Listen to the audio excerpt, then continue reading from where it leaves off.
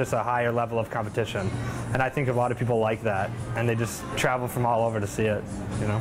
Around here, hockey's a big deal.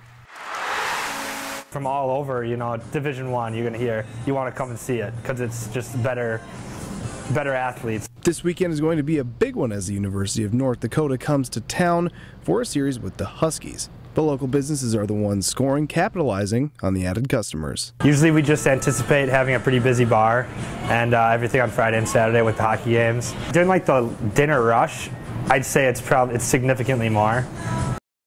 All over St. Cloud, but especially downtown, restaurants and hotels are able to garner more local business thanks to the hockey team. You seem to see a lot of people going like here and there and all you know the veranda's a nice place to go because it's pretty relaxed and stuff as well. So uh, i think a lot of people like to go and relax before they go to the games and stuff so i think that that shows a little bit there too. Unfortunately this latest cold snap has the possibility of slowing some of the businesses down.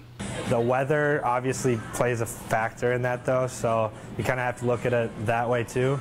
So i mean just hope to hope the weather's fine and just expect a lot of people.